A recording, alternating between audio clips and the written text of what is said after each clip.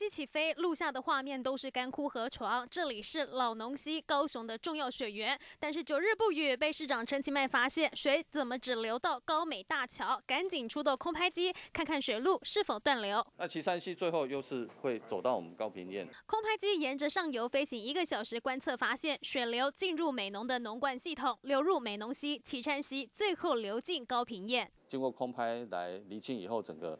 水流的方向是正常，没有问题，没有异样。看看期间，必须确认高平溪的任何一滴水都要流下来。不止高雄，台中更是如此。目前德基水库有效蓄水率只剩二点八趴，台中市正在积极拓展水源。紧急抗旱井，那目前已经增增加到呃八十八口井的部分。那在七十二处的建筑呃工地地下水的部分，目前每日的出水量可达到八十呃六十四万吨。然后皆有设置那个呃取水阀，让民众来取用。预计五月底供水系统每日可增加二十七点八万吨公共用水。开源之外还要节流。目前台中市一天的用水量已由一百四十万吨降到一百一十万吨。只希望老天快点赏雨，度过这场干旱危机。